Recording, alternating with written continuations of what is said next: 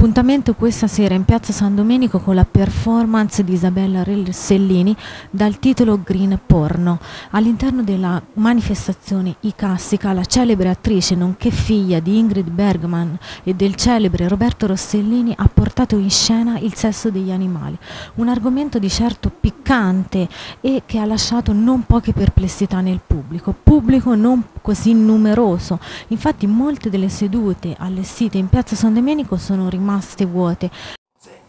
Voglio avere una carriera, però voglio anche stare a casa con i miei figli e quindi se potessi avere tante Isabelle, una potrebbe essere qui stasera a parlare con voi e l'altra invece potrebbe rimanere a casa a occuparsi dei bambini.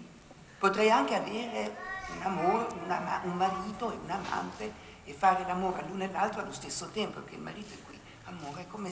Sicuramente uno spettacolo originale che non ha lasciato poche perplessità negli spettatori, dato che la Rossellini stessa si traveste, si trasforma negli animali da lei rappresentata e mm, mette in scena delle scene vere e proprie di sesso.